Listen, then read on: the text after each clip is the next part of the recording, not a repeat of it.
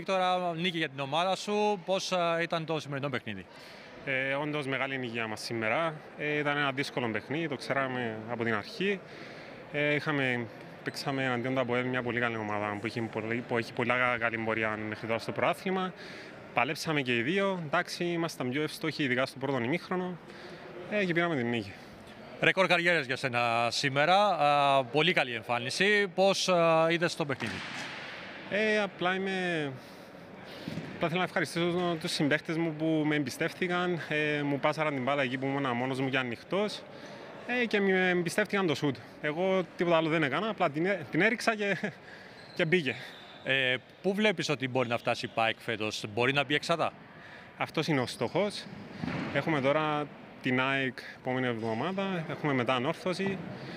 Ε, εντάξει, δύσκολες αγωνιστικές, αλλά έχουμε και πιο μετά την ΕΘΑ και τον Απόλλωνα, γι' αυτό ε, ευελπιστούμε ότι μπορούμε να πάμε την έκτη θέση.